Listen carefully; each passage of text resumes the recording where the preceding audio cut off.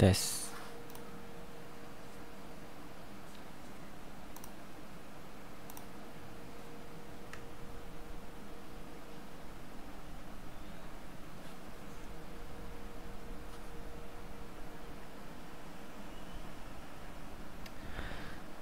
Okay, bismillahirrahmanirrahim. Assalamualaikum Warahmatullahi ta'ala wabarakatuh. Selamat pagi, salam sejahtera kepada, uh, kepada semua Okay. So, ini adalah uh, streaming yang seterusnya. Uh, Untuk membincangkan sambungan daripada uh, Periksaan percubaan SPM 2020 Batu Pahat uh, Kertas 2 dari soalan 8 hingga soalan 12 okey uh, so kita nak bincang baki soalan yang kita uh, tidak berjaya habiskan hari tu. Hari tu dalam video yang sebelum-sebelum ni kita dah bincang sampai soalan nombor 7 okey nombor 1 sampai nombor 7 so hari ni uh, bagi yang boleh tengok online uh, boleh tengok secara live uh, tidak ada paksaan kalau ada kelas lain uh, silalah uh, ke kelas yang sepatutnya dahulu awak boleh tengok siaran uh, ulangan lepas ni lah. Okay. Alright kita terus ke soalan uh, yang pertama untuk sesi hari ini. Soalan 8 ya. Ok sekejap. Saya tukar pointer. Ok sekejap. Baik Soalan 8 Dalam soalan 8 uh, Kalau awak tengok secara ringkasnya Awak tahu ni Sepatutnya awak dah tahulah Ini tajuk daripada uh, Tajuk gelombang wave. A group of students uh, Walking in front of the two loudspeaker Connected to a signal generator So kita ada Loudspeaker ada dua Speaker lah Yang disambungkan kepada Suatu penjana Frekuensi audio uh, Fungsi dia menghasilkan suatu bunyi uh, yang akan dipancarkan atau dikeluarkan oleh loudspeaker tersebut. Okay. Uh, they stop when they hear the loudest sound. So, ini adalah susunan pelajar-pelajar, students yang akan berhenti apabila mereka terdengar bunyi kuat. So, dia walk uh, around this area.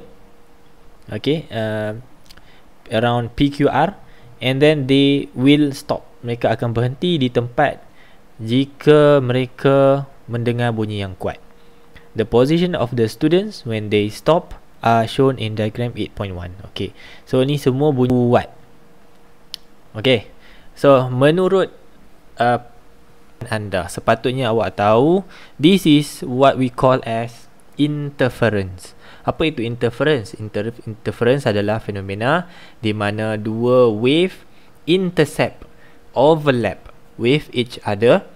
Uh, in case of uh, sound wave dalam dalam case uh, gelombang bunyi hasil daripada interference ada dua iaitu akan produce loud sound and also soft sound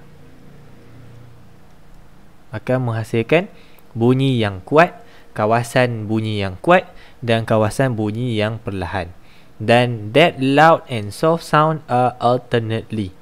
Okay, alternately. Loud, soft, loud, soft, loud, soft, loud, soft. Sepanjang satu garisan ni, uh, mana kata yang pelajar paling depan ni dengar bunyi loud, tengah-tengah ni ada bunyi soft, lepas tu bunyi loud, lepas tu ada bunyi soft, ada bunyi loud, ada bunyi soft, ada bunyi loud, ada bunyi soft, ada bunyi loud. Dan seterusnya. Okay, so the position where the student stand is the loud sound. Nah, the position where left blank here is the soft sound. Itu tempat di mana uh, bunyi perlahan berada. Itu adalah kesan daripada interference yang dihasilkan oleh dua loudspeaker tersebut.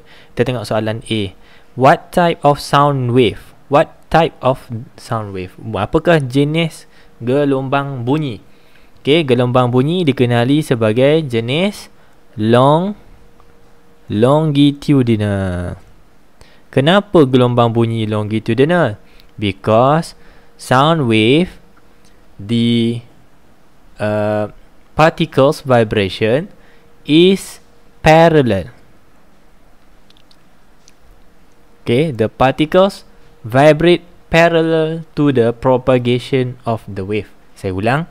The particle vibrates parallel to the propagation of the wave. Dalam bahasa Melayu, uh, particle dalam sound wave bergetar secara selari dengan arah perambatan gelombang. Ini boleh cek balik dalam buku. Sound wave adalah salah satu contoh longitudinal wave. Okay, next soalan B. Given that the frequency is 2000 Hz, kita label siap-siap frekuensi 2000. Uh, the velocity of sound in air is 340. This is V, speed of sound or velocity. Perpendicular distance between speaker and the student is 6 meter. Jarak di antara jarak di antara speaker dan juga student Q. Ha, jarak sini ke sini lah ni. Adalah 6 meter. Which is, awak kena tahu ini adalah jarak X. Betul eh? Betul ke X? Bukan. Ini adalah D. And the two speaker are 3 meter apart. So, this is A. Jarak di antara dua source adalah A. Okay, jarak di antara dua source adalah A. So, soalan minta calculate the wavelength of the sound wave. So, awak kena cari menggunakan V equals to F lambda. Kenapa nak pakai formula ni? Atau apakah nama formula ni? This is the speed of wave equation atau speed of wave formula. Untuk cari wavelength, which is the lambda, awak letak lambda di depan. Lambda sama dengan V bahagi dengan F. Kita ada velocity dah. Sudah di label. Velocity berapa? 340. Bahagi dengan frekuensi 2000. Okay.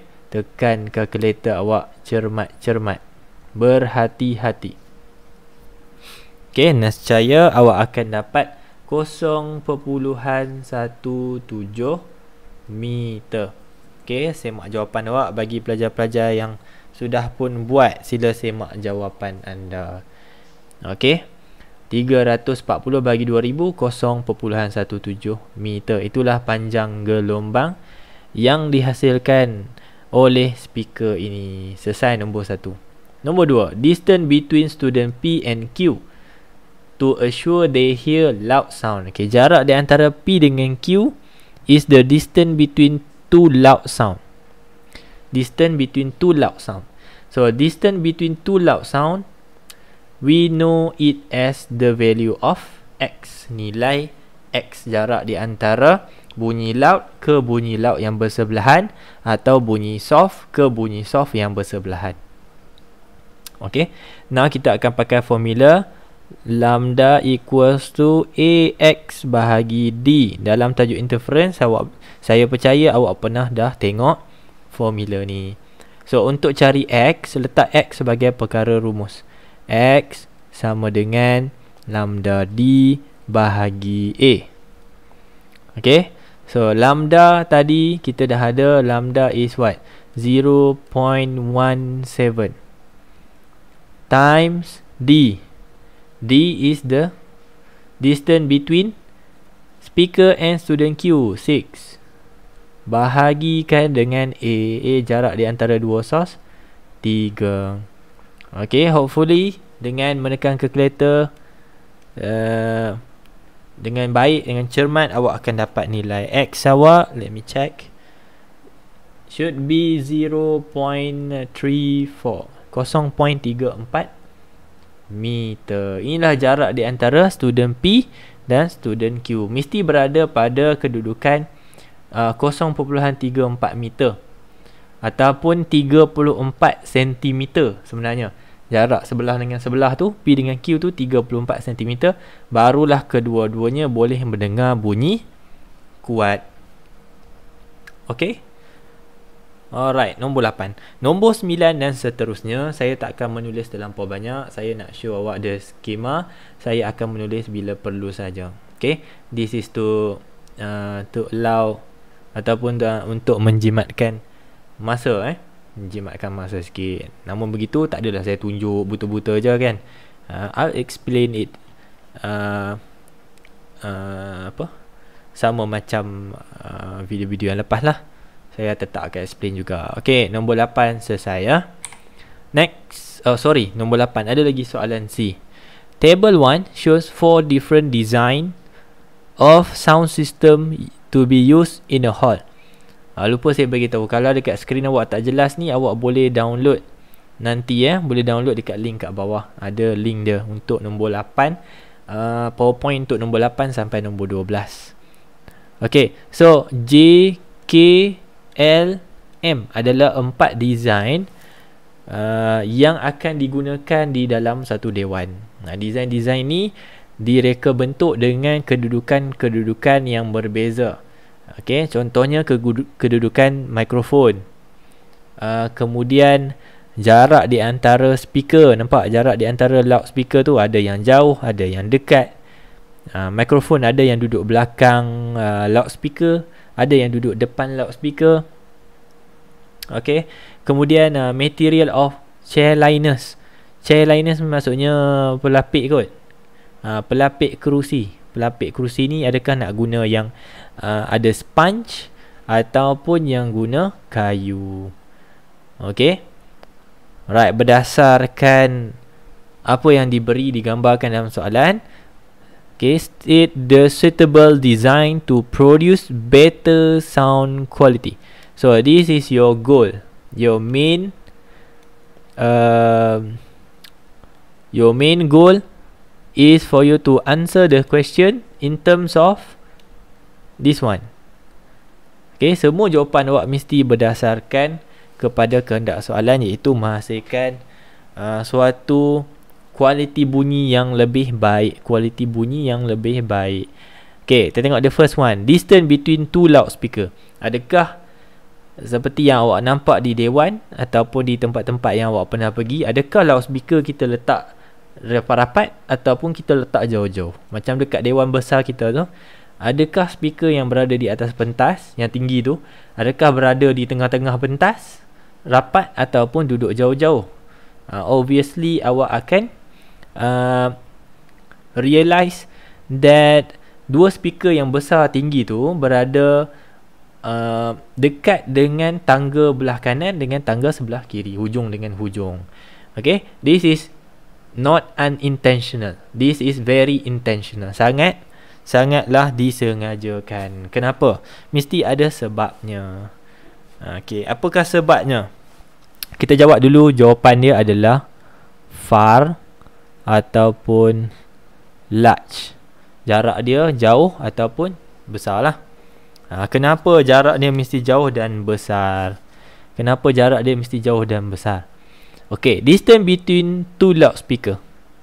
Dalam tajuk interference jarak di antara dua source uh, dipanggil sebagai A.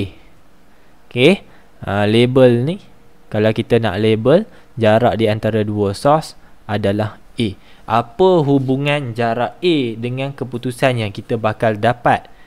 Okey apa hubungan dia? Okey saya tulis dulu kat sini ya sebab nak tulis kat bawah ni nanti tak nampak. Saya tulis dulu. So lambda sama dengan AX over D. Kita letak cuba kita letak A dekat depan. A sama dengan lambda D bahagikan dengan X. Okey kita bulatkan A. Atau kita highlightkan A kita tengok. Okey. So, bila nilai A kita ubah-ubah, kita akan dapat satu keputusan. Contoh, jika nilai A dibesarkan, which is apa yang kita jawab di sini. Jarak di antara dua loudspeaker dibesarkan, apa jadi kepada X? X tu apa? X tadi saya beritahu adalah distance between two loud sound. Okay. Two loud sound. Atau distance between to soft sound. Jarak di antara loud dengan loud dengan ataupun jarak di antara soft dengan soft. Apa jadi kalau nilai A dibesarkan? Pasti nilai X Sekejap saya highlight Pastilah nilai X yang kita bakal dapat Akan menjadi kecil Okay, eh? satu atas Satu lagi bawah Okay, so bila A besar X kecil Apa maksud X kecil? Jarak di antara laut dengan laut menjadi semakin rapat Apa kelebihan dia?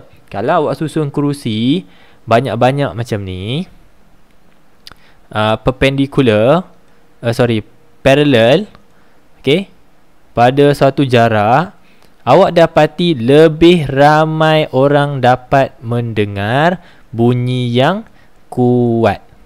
Lebih ramai penonton dapat mendengar bunyi yang kuat. Kalau nilai X awak kecil. Apa jadi kalau nilai X awak besar? Ha, antara laut dengan laut ni katalah 5 meter 5 meter. Ha, lepas 5 meter baru ada bunyi kuat. 5 meter lagi jauh sana baru ada bunyi kuat.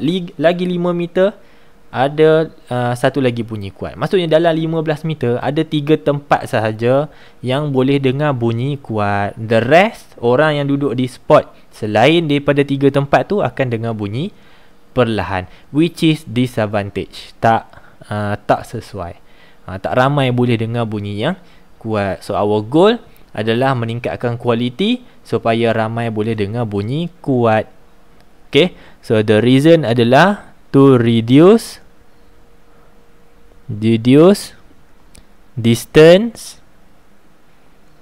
between two loud sound. Okay kita boleh buat nota sikit.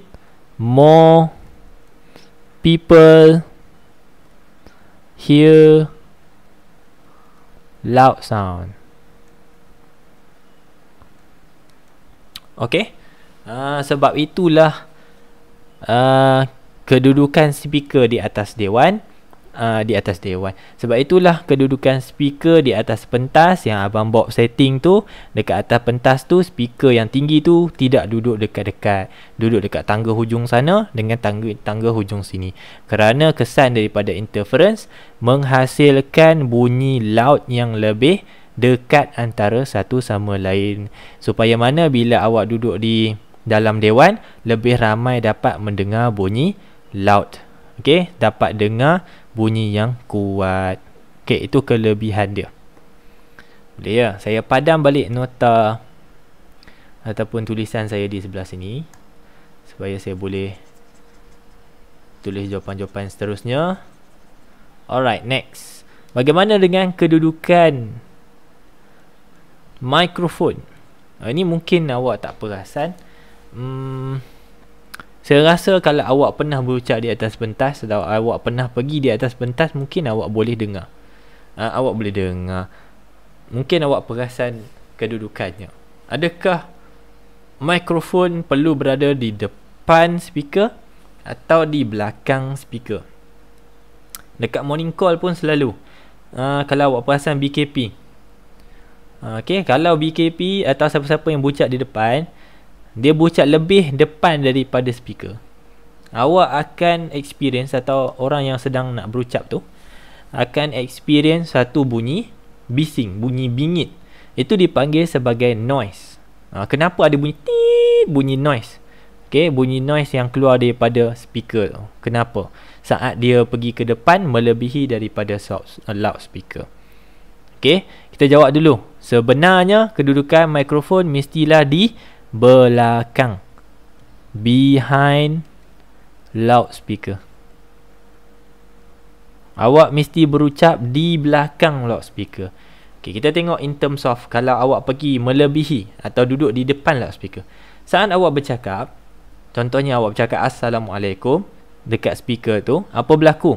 Awak menghantar signal masuk dalam mikrofon kemudian bunyi akan keluar melalui speaker tersebut keluar daripada speaker tersebut disebabkan awak berada di depan bunyi dari speaker terus masuk ke dalam mikrofon semula sekali lagi.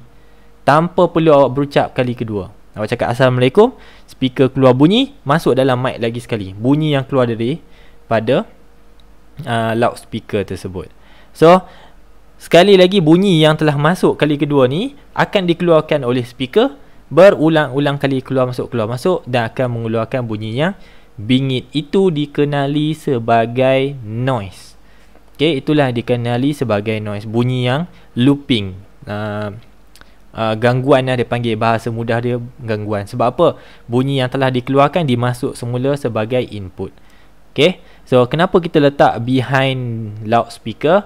Because to reduce ataupun to uh, noise untuk mengelakkan daripada noise atau bahasa yang lebih uh, technical lagi dia panggil disturbance okay uh, disturbance So ingat bila nak berucap ataupun awak nak buat nak setting majlis apa mic mesti berada di belakang loudspeaker.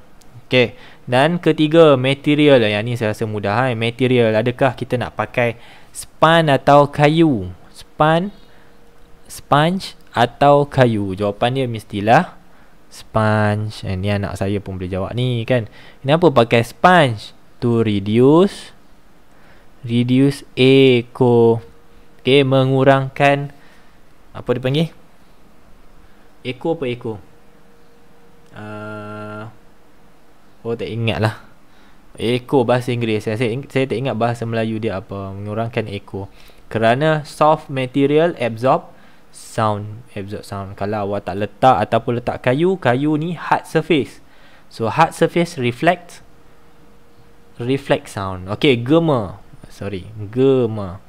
Bahasa Melayu. Menghilangkan atau mengurangkan kesan gema. So berdasarkan semua kualiti yang ada yang telah pun awak tulis pilihlah satu. Okey jawapannya apa? Nanti saya padam. Mana satu jawapan ni? Nak tengok pun tak apa nak nampak kan? Terpadam balik. Apa benda yang saya tulis ni? Okey jarak mesti jauh. Speaker mesti jauh. Mikrofon di belakang. Pelapik sponge. Jawapannya adalah J. Ha, tulis saja huruf J kat sini. Selesai untuk nombor 8 ya yeah, thank you Shoki Gema saya pun baru teringat. Alright thank you. Next kita pergi ke soalan 8 eh, soalan 9 ok dalam soalan 9 uh, menunjukkan dua gambar rajah 9.1 dan 9.2 dalam dua-dua gambar rajah kapak tersebut mempunyai jisim yang sama. Nampak? Allah kenapalah macam tu? Padam balik oh sorry. Ok kedua-duanya mempunyai jisim yang sama. Saya highlight eh. Saya start highlight. Alright. 2.5 2.5 tetapi dalam uh, rajah 9.1 kapak tersebut mempunyai hujung yang tumpul, blunt edge. Okey, hujung yang tumpul. Tetapi berbanding dengan 9.2, hujung kapak tersebut mempunyai hujung yang tajam. Satu tumpul, satu tajam. Jisim sama. Okey? satu tu, satu tumpul satu tajam apa beza tumpul dengan tajam tumpul dengan tajam bezanya adalah areanya surface area in contact so benda yang tumpul sebenarnya surface area dia besar bila surface area besar tekanannya kecil ha, itu beza dia sebenarnya soalan nak tanya apakah maksud pressure Okey, maksud pressure apa? Pressure kalau dari segi formula pressure sama dengan force bahagi dengan unit area. Okay. So kita nak define it is a force per unit area ataupun awak boleh tulis dalam bentuk ni uh, pressure is a force acted on a perpendicular to uh, acted perpendicular to a surface. Sekejap. Okay. It is the force acted perpendicular to a surface area. Ataupun setengah uh, skema jawapan, awak boleh tulis sebagai force per unit area. Boleh juga. Okay, B1. Dalam B1 ni ada beberapa soalan. Ha, macam mana saya tahu beberapa? Sebab 5 markah. Mestilah 5 5 soalan yang awak kena jawab. Ada 5 ayat. Pertama, compare the depth of lock penetration. Tu soalan pertama. Dari segi kedalaman, cuba tengok. Mana satu yang lebih dalam? Jawapannya, the depth of penetration, the depth of penetration of the lock in 9.2 greater than 9.1. Okay, 9.2 lagi dalam kapaknya berbanding dengan 9.1. Nampak ke lukisan tu? Ha, saya rasa lebih jelas kot. Kalau awak download mungkin lebih jelas lagi lah. Okay. Kemudian dari segi apa? Soalan kedua, surface area of the edge of the X blade. Surface area tadi saya dah bagi tahu dah. Surface area 9.2 less than 9.1. Maksudnya 9.1 yang tumpul ni area dia besar. Saya dah bagi tahu tadi. Bila area besar maksudnya tumpul sebab area besar menghasilkan pressure yang lebih rendah.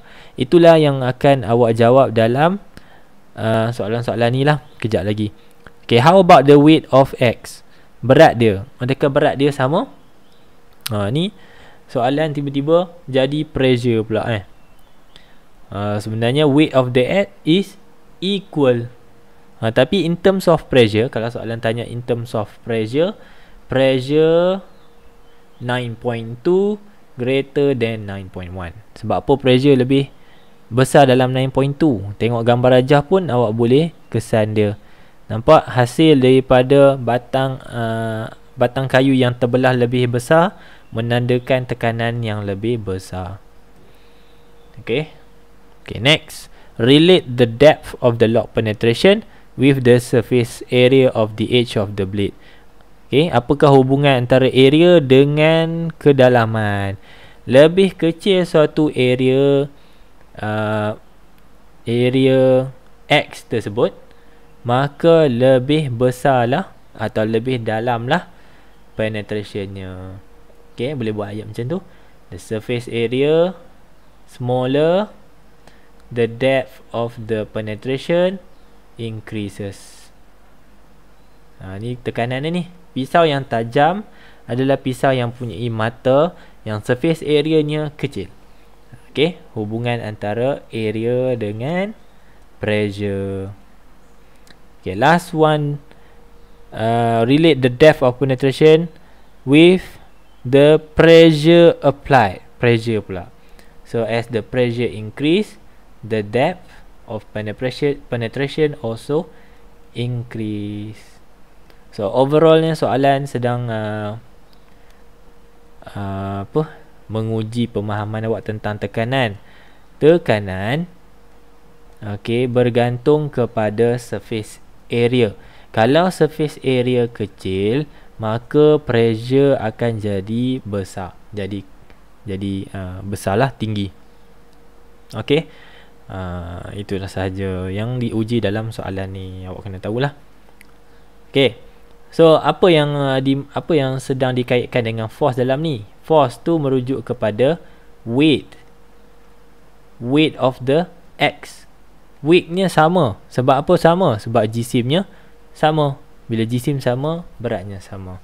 Suatu objek, dua objek yang beratnya sama, tidak semestinya mempunyai tekanan yang sama. Kalau ada dua orang cikgu Zul, seorang pakai kasut flat, seorang lagi pakai kasut high heels. Okey, duduk di atas permukaan yang sama, iaitu permukaan tanah. Tanah eh, tanah yang lembut. Okey, walaupun Cikgu Zul dua-dua ni mempunyai jisim yang sama, lalu mempunyai berat yang sama, bermaksud mempunyai berat yang sama, tidak semestinya kasut yang saya pakai, kasut yang Cikgu Zul dua-dua pakai ni, dua-dua tenggelam pada kedalaman yang sama, walaupun beratnya sama. Nah, tu maksud soalan ni. Walaupun X ni dua-dua berat yang sama, tapi disebabkan surface area-nya kecil, maka ia tenggelam lebih banyak. Tekanannya lebih tinggi. Okay ya. Next. Diagram 9.3 shows a balloon on a bed of nails. Okay ni balon okay balon. Duduk di atas uh, bed of nails. Okay kita pacakkan paku. Jadikan dia macam uh, apa katil lah. Seolah-olah katil. Kemudian kita letakkan beban ke atasnya. Beban di atas balon tersebut. And we observe that the balloon does not pop. Tidak meletup. Apabila kita letak beban atas dia dia tidak meletup. Explain why this the observation is happen. 4 markah. Macam nak buat ni? Mesti ada minimum 4 ayat. Okey? Uh, minimum 4 ayat. Kenapa kita buat bed of nails? Mesti awak pernah tengok dalam uh, dalam magic kan? Orang buat persembahan magic ke circus ke dia tidur atas.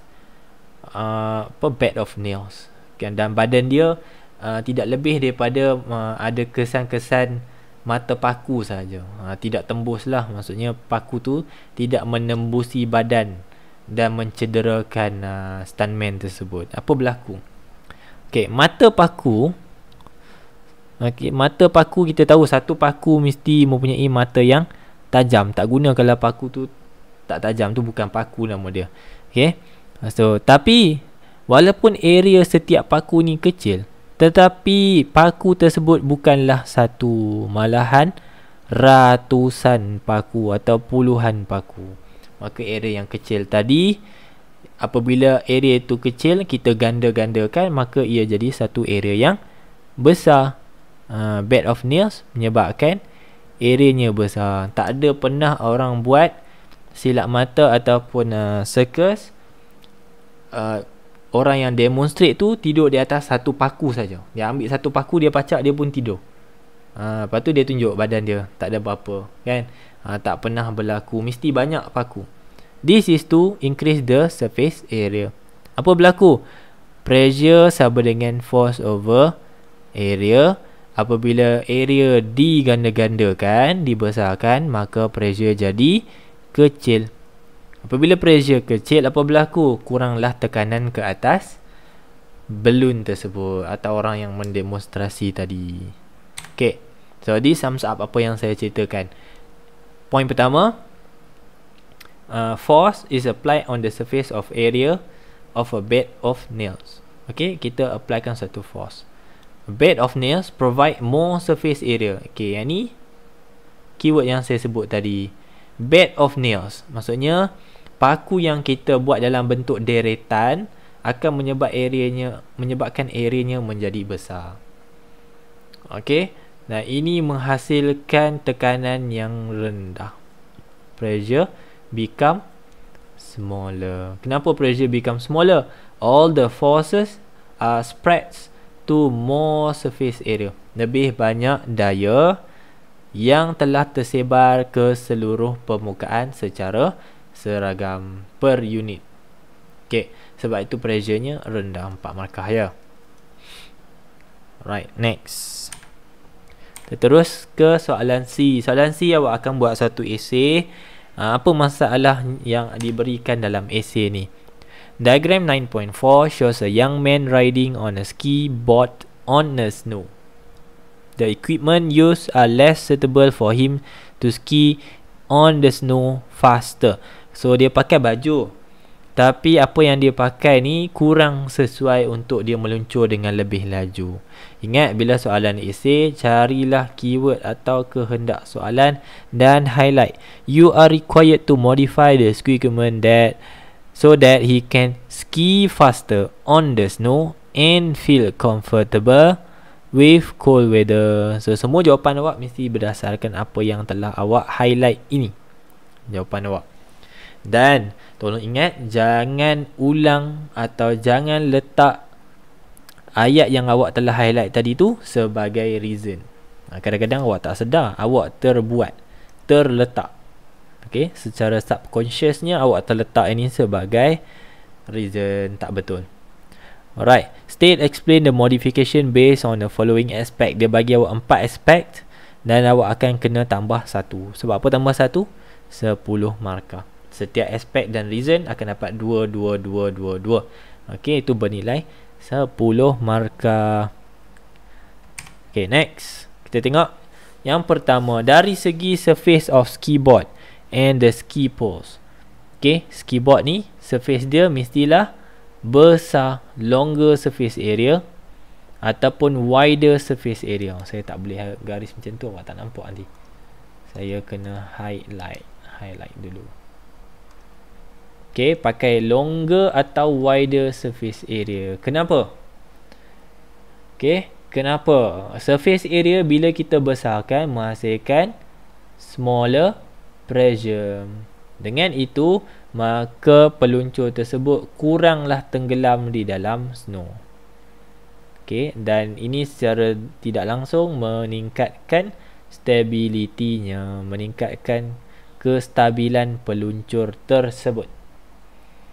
Okey, itu dua poin yang pertama. Dari segi type of material of the ski board, ski board dulu ya. Material dia, kita mesti pakai sharp ski board. Okay. Uh, uh, sorry. Ski board lah. Ski poles. Tongkat dia, tongkat dia. Sorry. uh, tongkat dia. Kita akan pakai tongkat yang tajam. Kenapa tongkat yang tajam? Because to produce better grip. Tajam bermaksud pressure-nya lebih tinggi. Higher pressure. Maka boleh menusuk uh, atau mencocok uh, snow dengan lebih baik supaya boleh meluncur dengan lebih laju dapat cengkaman yang baik cucuk boleh tolak supaya boleh meluncur dengan lebih laju itu nombor dua nombor tiga dari segi pakaian attire pakaian dari segi pakaian mesti pakai pakaian yang ringan. Okey pakai pakaian yang ringan. Ataupun pakai uh, pakaian yang jisimnya kecil atau low density. Okey uh, ataupun boleh juga pakai pakaian daripada pakaian yang materialnya kuat. Atau juga daripada fiberglass atau aluminium ski board okey attires ni termasuklah dengan board dia okey kenapa kita kena pakai yang ringan-ringan ni semua boleh menambahkan pecutan takkan nak pakai baju sweater yang berat yang kain cotton kan berat tu Ha, nanti tambah dengan kena kesan-kesan salji uh, apa jadi basah jadi lebih berat. Okay, so to increase the acceleration. Alright.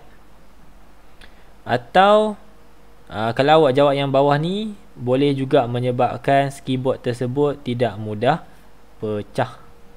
Uh, tidak mudah pecah, not easily broken. So ada dapat 3 point. Poin yang keempat dari segi teknik meluncur. Ha, adakah teknik yang kena guna pakai tu sesuai? Okey, dari segi uh, dari segi ah ni masih lagi uh, attire eh dia tambah dua attire. So boleh pakai insulating thermal layer jacket. Boleh pakai jacket yang uh, berpenebat haba berpenebat haba atau pakai lebih banyak jaket sekaligus okey untuk maintain body heat atau regulate body temperature ni dapat mengekalkan suhu badan yang baik okey ha, ni dapat daripada macam mana boleh jawab soalan ni tiba-tiba ni ha, ni datang daripada point yang kedua uh, feel comfortable with the cold weather ni ciri-ciri supaya dia dapat meluncur dengan selesa. Okay, last one. Teknik dia. Bend the body while skiing. Pernah tengok tak orang uh, ski? Orang ski badannya akan dibongkokkan. Bend. Bongkok. Kenapa? To form aerodynamic. Untuk menghasilkan suatu bentuk yang dipanggil aerodynamic. Apa maksud aerodynamic ni? Aerodynamic ni bunyi, eh, bunyi pula dah. Bentuk yang dapat mengurangkan kesan rintangan udara. Ha, macam motor, kereta, nampak bentuk kereta tu semua dipanggil aerodynamic. Ha, dengan mengurangkan air resistance, maka menghasilkan kestabilan yang lebih tinggi dan dapat memecut dan meluncur dengan lebih laju. Okay, next. Habis lah untuk nombor 9 Teruskan ke nombor 10 Okay, Raja menunjukkan step down transformer. Ini adalah step down transformer. Okay, 10 point 1 Menunjukkan step down transformer. Ini dia A primary coil is connected to input supply 240 volt AC. Okay, ini makluman saja. Diagram 10.2 and uh, sorry 10.2A and B shows a bulb that is connected to a secondary coil. So ini adalah transformer yang input dia 240. Okay, kemudian disambungkan number of turn sama. Number of turnnya 100 100. Okay. Tapi awak nampak ada satu perbezaan dekat sini. Kita highlight pakai color hijau. Nampak tak? Okay. Pertama, perbezaan dari segi number of turns. Dekat sini dengan dekat sini. Number of turn berbeza. Satu lagi dari kecerahan lampu brightness of the bulb. Sebab saya highlight warna apa? Biru. Tengok So apparently dengan uh, melihat lukisan awak tahu bahawa bab di 9 point, uh, 10.2 lebih cerah daripada 10 sorry 10.2b lebih cerah daripada 10.2a. Kenapa? Garisannya lebih banyak dalam 10.2b garisannya lebih banyak. Garisan lebih banyak tu menggambarkan bahawa lampu tersebut lebih cerah. Okey, apa nak buat dalam soalan ni ni? State the function of step down transformer. Apa fungsi step down transformer? Tu soalan pertama. Kemudian awak kena compare number of turns on the secondary coil. Ha, seperti yang awak dah highlight tu. Awak dah highlight semua dah pun, tinggal nak buat je. Okey, compare the number of NS. Kemudian compare the brightness. Kemudian compare the secondary voltage. Okey. Next, menggunakan semua maklumat yang awak dah jawab tadi, awak akan cuba relate number of turn secondary dengan secondary voltage. Apa hubungan dia? Kemudian membuat relationship between VS dan juga brightness. Apakah hubungan antara kedua-duanya? Jawapan. Untuk jimat masa kan? Jawapan. Kalau awak nak buat dulu, pause lah di tempat mana saya berhenti tadi. Cuba buat dulu, lepas tu play balik lah. Okey, ha, kena bijak. 10 point uh, sorry, soalan 10A apa fungsi step down? Dah nama pun down maksudnya untuk reduce. Reduce apa? Potential difference atau voltage. Banyak pelajar terkeliru reduce current. Salah. Okay, to reduce the voltage of an alternating current. Nah, yang tu yang lebih uh, tepat lah. Reduce the voltage of an alternating current. Okay, B1 compare NS dia. Tadi saya dah bagi tahu uh, number of turn NS tadi tu. Yang mana satu yang lebih besar? Jawapannya 10.2. 10.2 is greater. Okey, boleh buat dalam satu soalan uh, dalam satu ayat uh, perbandingan. Dari segi kecerahan mana lebih cerah? 10.2. 10.2 is brighter. Okay, dari segi secondary voltage mana lebih besar? 10.2 greater. 10.2 greater. Macam mana tahu? Uh, sebab apa lampu lebih cerah? Sebab lebih besar lah nilai VS-nya. So, kita cuba kaitkan. Okay, the larger the number of secondary coil, lebih besar nilai NS dia, which is uh, gambar rajah B. Maka lebih besarlah VS-nya voltan yang diterima pada bab lebih besar dan disebabkan voltan yang lebih besar itulah bab tersebut menjadi lebih cerah. Senang je soalan ni. Kan? Tengok gambar raja, kopi kopi kopi kopi saja. Okey, tengok. Janji kena tengok buka mata luas-luas. Apakah yang sedang dibincangkan dalam soalan tu? Apa beza antara dua gambar rajah tu? Apa relation antara perbezaan tersebut? Apa relation dia? Okey. So dua-dua ni adalah uh, dua gambar rajah yang uh, similar but not the same. Similar but not the same. Ada dua uh, ketiga perkara yang beza biasanya dua lah yang akan berbeza awak kena note down okey sebab tu pentingnya highlighter ataupun uh, apa-apa saja yang boleh awak label dekat situ lah supaya nampak jelas. Next. D. Explain the working principle of transformer. Kena jelaskan bagaimana sebuah transformer berfungsi. Pertama, syarat pertama mesti guna alternating current. Okay, transformer hanya berfungsi dengan AC sahaja. AC sahaja. DC tak boleh. Okay, ha, nanti pergi belajar balik kenapa transformer kena pakai AC saja kerana AC boleh menyebabkan build up and collapse of magnetic field. Tanpa build up and collapse magnetic field, maka tidak ada pemotongan flux di sebelah secondary coil dan ini tidak akan menghasilkan arus aruhan uh, sorry, uh, sorry tidak akan menghasilkan arus aruhan di sebelah secondary coil. So dia tak berfungsi untuk DC. Okey, mesti pakai AC yang akan mengalir dalam primary coil Tu yang pertama Satu markah Good. Sorry Kedua soft iron core akan Magnetize The soft iron core akan menjadi Magnet sementara Apa berlaku?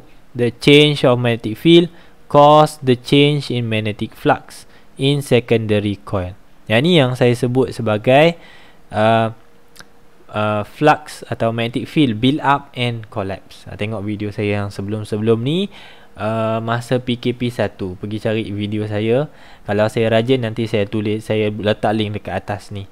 Okay, build up and collapse of magnetic field. So daripada build up and collapse ni ada pemotongan flux dan menghasilkan induced current di sebelah secondary coil. InsyaAllah kalau saya rajin nanti saya edit video ni saya letak link dekat atas ni. Uh, bagaimana sesebuah transformer berfungsi. Insyaallah saya cuba. Okey next soalan E. Soalan E awak dikendaki to suggest suitable characteristic of transmission cable characteristic of transmission cable the type of transformer P type of transformer R and the type of network transmission to increase the efficiency. So awak ada satu jalur penghantaran uh, elektrik daripada power station sampai ke pengguna. So awak kena cadangkan beberapa perkara yang dinyatakan di sini. Kita tengok jawapannya. Untuk R, transformer R mestilah menggunakan step up transformer.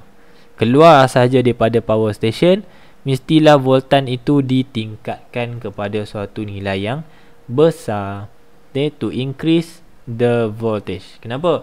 Suatu voltan yang kita keluarkan daripada power station akan berkurangan due to heat loss. Uh, loss due to heat. Okey, jadi kita tak nak voltan yang kita keluarkan tersebut apabila sampai di pengguna nilai dia merosot jadi terlampau kecil. Jadi kita kena pump up the voltage supaya menjadi besar. Okey. Kemudian uh, untuk transformer P sebelum masuk ke pengguna, transformer yang kita perlu pakai adalah step step down transformer. Sebab apa?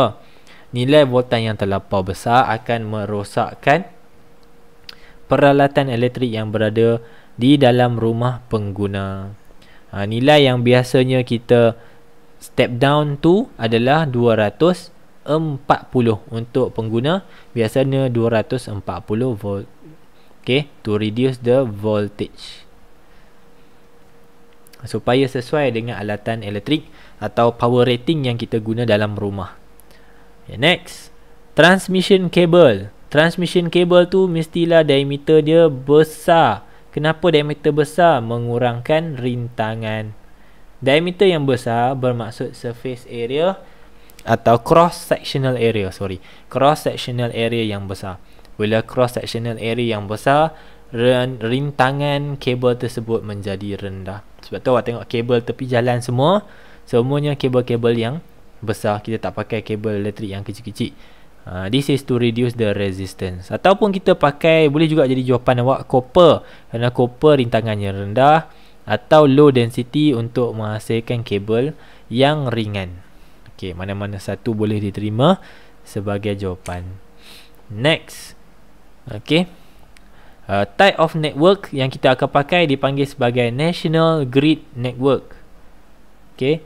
Uh, kenapa kita pakai National Grid Network? To get less interference or easy to maintain and low cost of transmission. Uh, kita pakai, kita tak pakai yang sendiri-sendiri punya, kita akan pakai National Grid Network. So inilah reason-reasonnya. Okay, mudah diselenggara dan kosnya lebih rendah. Next, low rate of expansion. Kabel yang kita pakai tu mestilah uh, mempunyai kadar pengembangan yang rendah. Sebab apa? Not easy to expand at high temperature. Apabila kita berada dalam suhu yang panas, uh, sebab uh, suhu sekeliling dekat kawas sesuatu kawasan boleh jadi terlampau tinggi, boleh jadi terlampau rendah. Uh, contoh di Malaysia saja, kadang-kadang uh, iklim kita suhunya tinggi, kadang-kadang terlampau rendah. So bila tinggi tu masalah kalau uh, expansion dia tu uh, rate dia tu terlampau tinggi. Mudah sangat dia mengembang. Nanti dia melendut. Lepas tu dia uh, menyebabkan uh, soggy lah dia. Bukan soggy apa? Sag. Sag kan? Dia melendut. Okay next. Nombor 11 dua lagi soalan. Okay ini adalah apparatus untuk investigate relationship between temperature T and volume at the constant pressure and mass. Daripada ayat ni saja sepatutnya sepatutnya awak boleh relate apa hubungan temperature dengan volume. Apa hubungan temperature dengan volume? Semakin tinggi temperature, semakin tinggi volume. Bermaksud volume dengan temperature berkadar langsung dengan syarat pressure-nya constant. Pressure-nya constant. Menurut gas law, segitiga ni, Allah, buruk. Padam balik. Uh, segitiga yang awak belajar dalam kelas tu, dah banyak kali dah buat kan. Segitiga terbalik tu. P, V, T. Kan? Okay, P constant. So, kita padam P. Kita tinggallah V bahagi T. Ha, V bahagi T ni adalah satu gas law yang dikenali sebagai Charles law. Charles law. Formula dia apa? V1 bahagi T1 sama dengan V2 bahagi T2 Charles law. Ok T1 dan T2 mesti dalam Kelvin. Macam mana nak dapat satu suhu dalam Kelvin? Tambah 273 ha, Sebarang suhu Mesti ditambah dengan 273 Baru boleh pakai formula ni. Okey, Saya padam balik semua. Next. Apakah hukum yang digunakan? Seperti saya beritahu tadi Hukum Hukum Charles. Okey, B1 At the beginning of the experiment The temperature of water. Uh, thank you Shauki. Uh, the temperature of water is 30 degree Celsius and the trap air length is 12 cm. Okay, saya highlight. Eh. Suhu awal 30, panjang awalnya 12. Selepas 10 minit, the temperature naik kepada 60. Dari 30 naik 60. Okey. Calculate kirakan initial temperature in Kelvin. Macam mana dapat 303 ni? Macam mana dapat 303? Jawapannya suhu awal tadi adalah 30 tambah 273. Ni yang saya beritahu tadi. Apabila kita nak tukarkan ke dalam unit Kelvin, mesti tambah 273. Dapatlah 303 Kelvin. Okey. Kemudian cari final temperature. Sama juga final temperature tadi dalam uh, degree Celsius 60 darjah Celsius. So 60 tambah 27 3 dapatlah 333 Kelvin. Okey, ingat eh mesti tambah 273. Kemudian final trap air. Okey, uh, trap air tadi asal-asalnya 12 cm. Berapakah panjang finalnya. Jadi kita pakailah formula Charles law. Apa formula Charles law tadi? V1 bahagi T1 sama dengan V2 bahagi T2 ha, ni sama dengan ni tak ada kat sini so volume pertama uh, kita assume sebagai length kita assume length is the volume Okay, length is the volume. Sebab tube capillary ni volumenya tidak berubah length saja berubah. Okay, ada saya explain kenapa volume kita boleh tukar kepada length. Nanti saya cari balik video dia eh. so kita boleh letakkan length tu sebagai volume 1 uh, kita nak cari volume 2 atau length 2 kita tukarkan.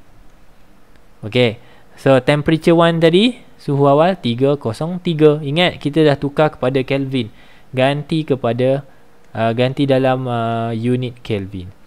Ok nah inilah persamaan dia. So L untuk 2 which is the final one is 12 bahagi 303 darab dengan 333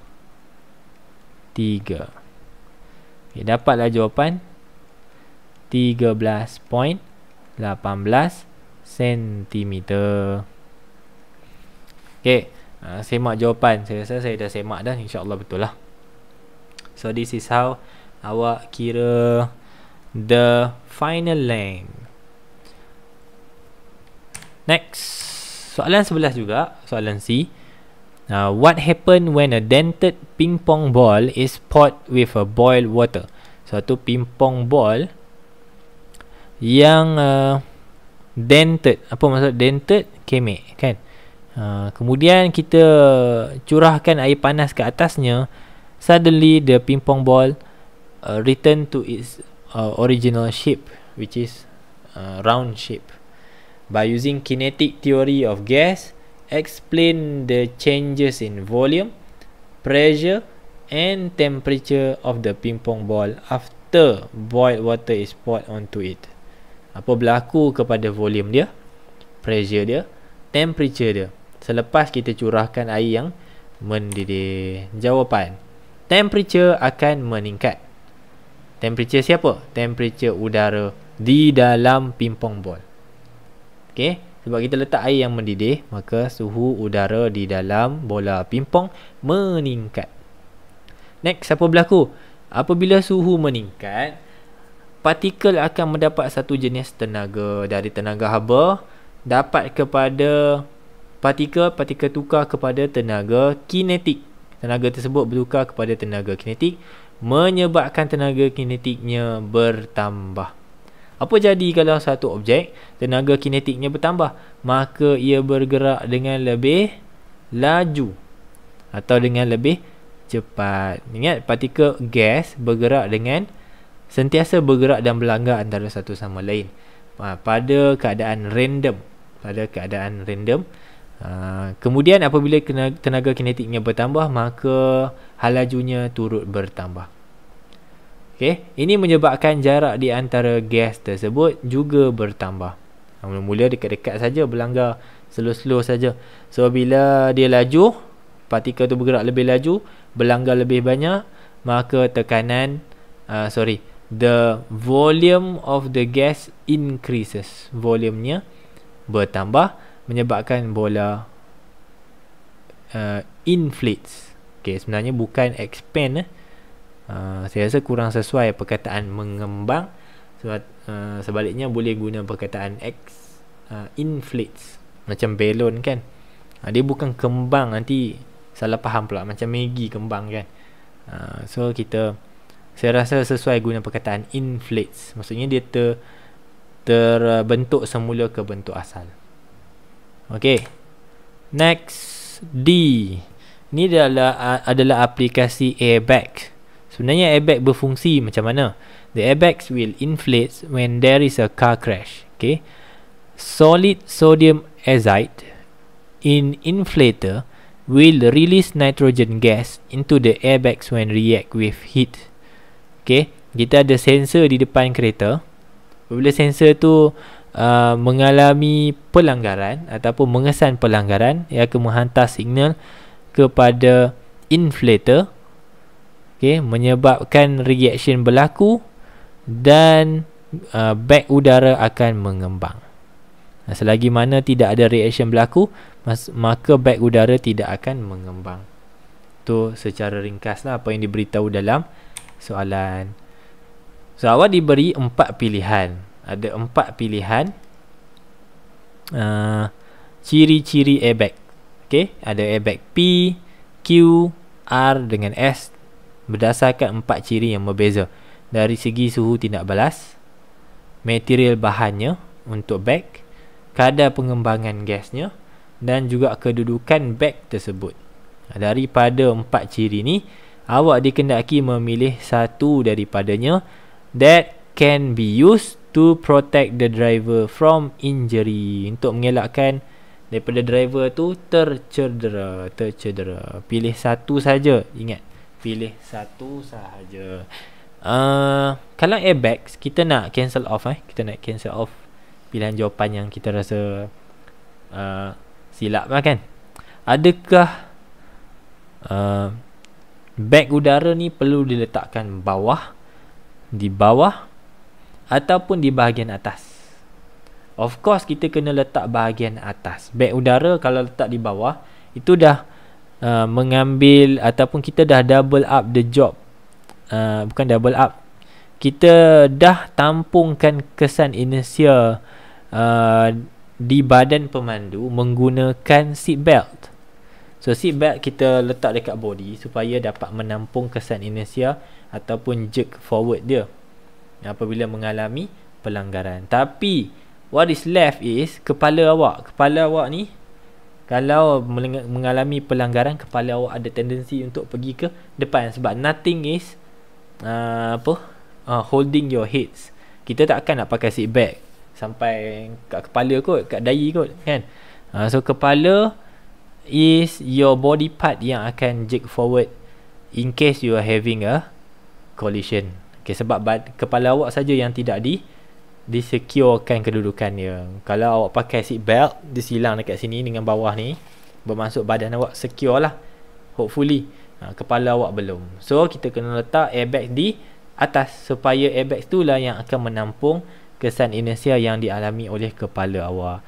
So, yang mana yang lower, kita pangkah. Nampak ni? Ni lower body. Pangkah. So, S bukan jawapan dia. Okay. S bukan jawapannya. Kita tinggallah tiga. Adakah kita nak pakai nylon atau polyester? Nylon ke polyester? Kenapa nak pilih nylon? Kenapa nak pilih, pilih polyester? Kita mesti nak pilih uh, satu bahan yang lebih kuat. Uh, bahan yang lebih kuat tu adakah nylon, adakah polyester? Kalau awak tak tahu, awak tengok uh, ciri-ciri lain. Uh, how about the rate of expansion? Kita nak dia mengembang cepat atau mengembang lambat. Dah langgar, langgar 5 minit lepas tu baru uh, apa? Uh, the the airbags mengembang dengan baik. Uh, fully inflated. Adakah macam tu? Mesti kita nak cepat. Uh, disebabkan itu, disebabkan kita nak cepat, maka kita buanglah yang low. Nah, ini lambat. Polyester lambat. Yang ni pun lambat. Dapat kita jawapannya. Okay So kita dapatlah jawapannya sebagai Q.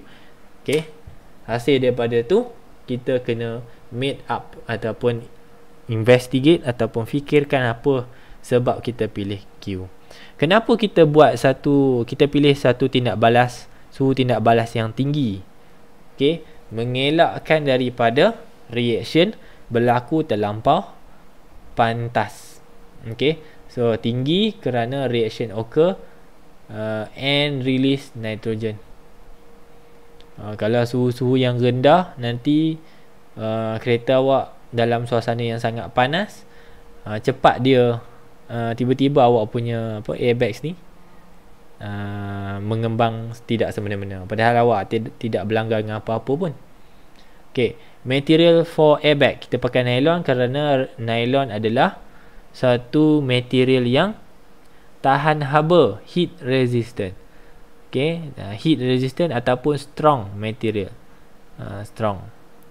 Uh, tidak mudah terkoyak tidak mudah mele melebur ataupun uh, apa ni? Melebur lah. Tidak mudah melebur melt. Kemudian rate of expansion high to inflate faster, cepat mengembang. Kita nak once the collision occurs, pum, pum mengembang terus. Okey, sebab reaction mesti berlaku dengan pantas kerana kita tak tahu uh, berapakah masa yang diambil untuk kepala uh, orang yang accident tadi tu untuk mencapai ke steering. Uh, dekat je steering dengan kepala tak sampai 1 meter kan. Uh, lebih kurang suku meter kot. Kan? Uh, lebih kurang jarak macam ni kan. So bila pelanggaran berlaku mesti sebelum kepala terhantuk ke steering mesti inflate dah. The the apa? the airbags mesti fully inflate. Next, position mesti upper body to prevent head or face injury untuk mengelakkan daripada muka ataupun uh, kepala mengalami kecederaan. Muka dan kepala tu yang penting dalam airbags. Airbags dia tak selamatkan bahagian-bahagian lain. Uh, tidak fokus kepada bahagian bawah badan ataupun kaki awak. Okay, uh, kaki awak lagi tak ada apa-apa Uh, sebab tu biasa accident, kaki teruk lah. Kaki teruk. Kaki awak ni uh, mesti terswing ke depan punya lah. Bukan accident kan? Kaki mesti terswing ke apa tu? Pedal ke bahagian atas dash bahagian uh, bawah dashboard awak tu. Okey so ni 8 markah. 2 4 6 8 kemudian jawapannya Q. Lepas tu tulis balik semua ciri-cirinya dapatlah awak lagi 2 markah cukup 10 markah Next. Nombor 12 soalan terakhir untuk sesi hari ini. Diagram 12.1 shows a circuit which is used to determine the internal resistance R. Okay. So ini setup dia untuk cari nilai internal resistance. Apakah maksud internal resistance? Okay, tu yang pertama. Apa maksud internal resistance? Awak tahu resistance kan? Apa maksud internal resistance pula? dan berdasarkan daripada gambar rajah tersebut sketchkan suatu graf iaitu graf yang akan menunjukkan sorry graf voltage against current mesti sketch graf voltage against current yang akan memberikan awak maklumat E besar iaitu EMF dan juga R kecil internal resistance tahu kan macam mana? Secara asalnya macam itulah graf dia. Mana pintasan ni adalah EMF gradient dia adalah internal resistance nanti saya tunjuk yang proper punya eh. Ok tu nombor satu. Nombor dua nombor tiga what happen to the internal resistance if the dry cell used for a long time? Kalau kita guna lama-lama. Adakah nilai rintangan tu akan bertambah berkurang atau sama sahaja ok let's reveal the answer so itu jawapannya Apakah internal resistance? Adalah suatu rintangan yang disebabkan oleh electrolyte. Okey, charge yang bergerak di dalam electrolyte. Electrolyte tu apa? Cecair di dalam sel kering tu. Ha, ini dalam kimia, tak perlu saya explain lagi lah. Okey, kemudian nak sketch seperti yang saya sketch secara uh, asas tadi V lawan I. Graf dia gradient turun secara linear. Ingat eh? Linear pakai pembaris. So nilai EMF adalah nilai pintasan pada paksi Y dan nilai gradient adalah nilai internal resistance. Ya. Yeah. Next, the internal resistance bila kita pakai bateri lama-lama akan meningkat. Okay, ha, akan meningkat. Next. Hai Zahid. Zahid pergi mana? Rumah Syifa Okay Diagram 12.2 Shows a circuit consisting 3 resistor Ada 3 resistor kat sini R1, R2, R3 Kita tengok ha. saya, saya label Kita labelkan sekejap This is R1, R2, R3 Okay A dry cell with electromotive force 1.5 Dry cell ni mana? Dry cell ni ada nilai EMF dia 1.5 dan internal resistance 0.5 kita tulis siap-siap. Apakah maksud maklumat ni? Internal resistance R kecil. Ok. Electromotive force E besar ok soalan tanya apa? Carikan nilai effective resistance. Ha, macam mana cari effective resistance? Uh, total resistance lah total resistance. So R2 dengan R3 ni secara siri kita tambah 5 tambah 5 dapat 10 uh, bawah ni 10 tapi yang atas ni 5 5 dengan 10 ni pula dalam keadaan parallel. Maka kita nak cari R parallel kita buatlah formula dia 1 per 5 tambah 1 per 10 samakan pembawah selesaikan awak akan dapat bacaan dia. Okay, kita tengok skema kejap lagi lah. Kemudian reading of the voltmeter. Pakailah balik. Bila kita dah dapat dah R total dia tadi kita akan pakai balik hukum ohm V sama dengan V sama dengan I R untuk mencari reading of the voltmeter. Uh, okay, kita tengok betul ke? Okay, uh, tu jawapan dia. 1 per 10 tambah 1 per 5 kemudian inverse kan dapat 3.33 ohm. Mesti ada unit 3.3 ohm. 3.33 ohm. Okay, kemudian menggunakan formula EMF dan internal resistance. Uh, macam mana formula dia? E sama dengan I R besar tambah R kecil. Kenapa kena buat ni dulu? Sebab kita ada maklumat internal resistance tapi kita tak ada maklumat R besar. R besar tak ada. Sebab kita nak masuk dalam Ohm's law, kita perlukan nilai R besar. Maka carilah kita nilai R besar tersebut. Uh, sorry, nilai R besar ada. Uh, the only problem yang kita tak ada adalah the current. Sorry, current yang kita tak ada. So kita akan cari current dulu menggunakan formula EMF. Bila kita dapat current 2.55, barulah boleh ganti dalam Ohm's law V equals to IR. Okay. Ha, jalan kira macam tu. Next. Habis dah. Ni soalan terakhir saya rasa.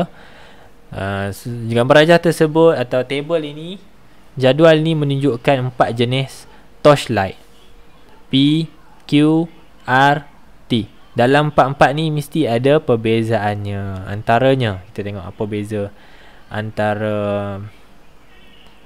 Torchlight-torchlight ni. Ada yang pakai connecting wire nichrome Ada yang pakai copper. Okay Kemudian uh, kedudukan baterinya. Adakah kita nak pakai bateri dari segi bateri yang disusun secara parallel Atau secara siri? Nampak? Ni dua parallel.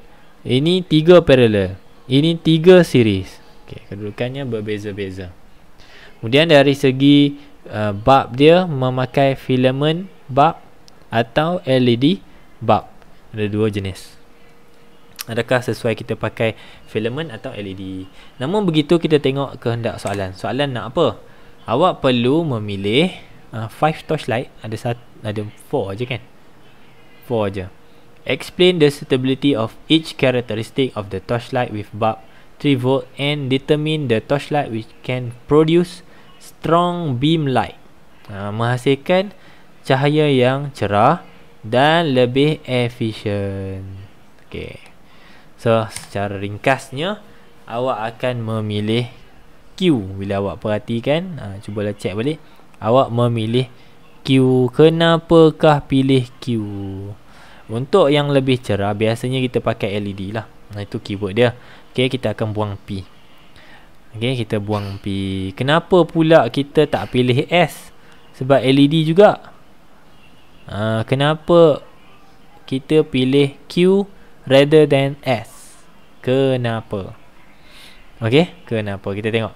Kita mesti susun bateri secara siri kerana menghasilkan lebih banyak EMF atau boleh juga tulis lebih banyak voltan. Sebab V series kita tambah. Okey kita tambah. Betul lah V series kita tambah. Kemudian uh, kita pakai dua sel kering. Dua sel kering kerana menghasilkan voltan yang sepadan dengan voltan mentol match the voltan uh, match with the voltage of the bulb. Ni bukan voltan ni voltage of the bulb. Uh, kenapa tak pilih tiga Kenapa tak pilih tiga ni? Ni menjawab soalan ni. Satu bateri bernilai 3 volt. Uh, mana dia? table this lah volt table okey satu satu uh, apa ni bateri bernilai 3 volt kenapa dia tak bagi ada tak dia bagi voltan oi ada tak dia bagi voltan untuk bulb power rating untuk bulb sorry. Power rating untuk bulb ada tak dia bagi? Terangkan kesesuaian setiap ciri lampu suluh dengan 3 volt. Oh 3 volt. So satu bateri 1.5 Ambil daripada mana? Satu bateri 1.5 Soalan sebelum ke?